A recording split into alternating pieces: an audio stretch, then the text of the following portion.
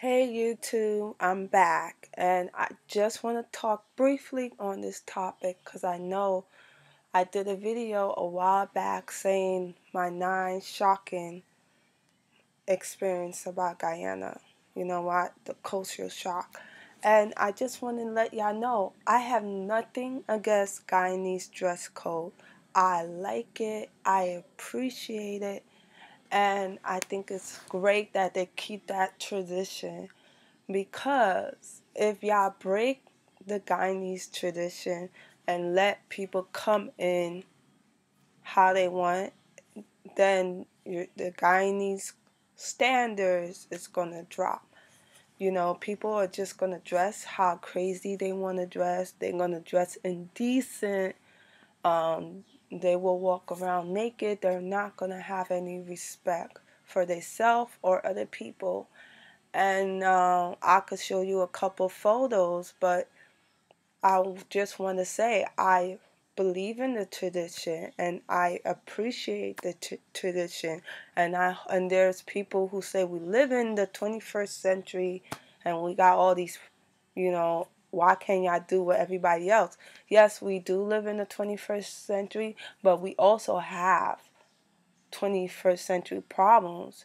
You know, we you have teachers sleeping with their students, and I'm not saying that probably don't happen in Guyana, but it's very common in the U.S.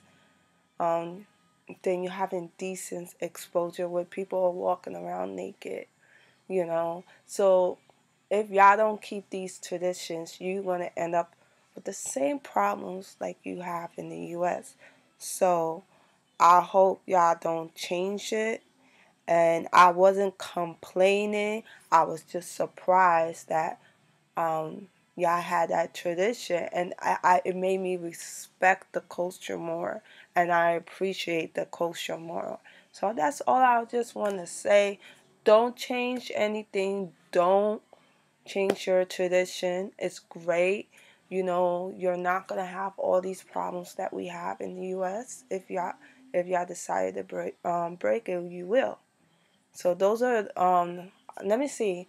Yes, like teacher, we have in the U.S. teachers want to sleep with their students.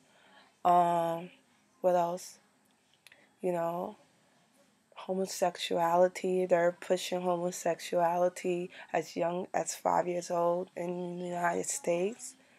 Um, what else uh, going on? You know, people don't have respect for their clothing. They just wear what they ever feel like. They some people go the streets with their pajamas on to the stores. And I see that and you know, that's shocking to me. So, um, don't change the stand. All I'm just saying, just don't change the standards. It's great.